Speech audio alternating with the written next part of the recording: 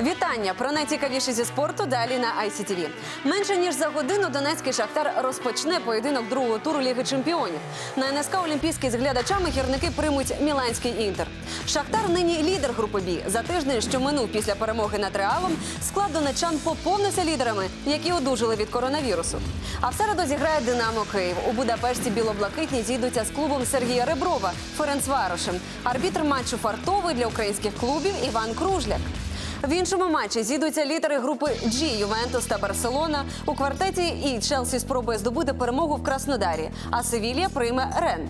Статус фаворита групи F прагне повернути Борусія, яка гратиме із Зенітом, а Лаціо з Брюге. У квартеті H ПСЖ спробує здобути перемогу в грі з Істамбулом. А Манчестер Юнайтед та Лейпциг зіграють в Англії.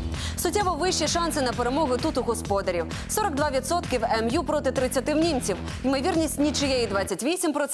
У попередньому турі Манчестер Юнайтед у Парижі переграв ПСЖ, тоді як Лейпциг удома здолав Істамбул. Спонсор показу парі матчі грають вони, перемагаєш ти.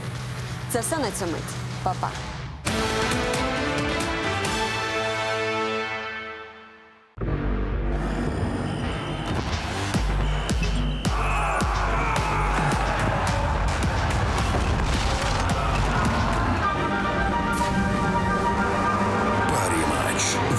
вляпайся в зарубу.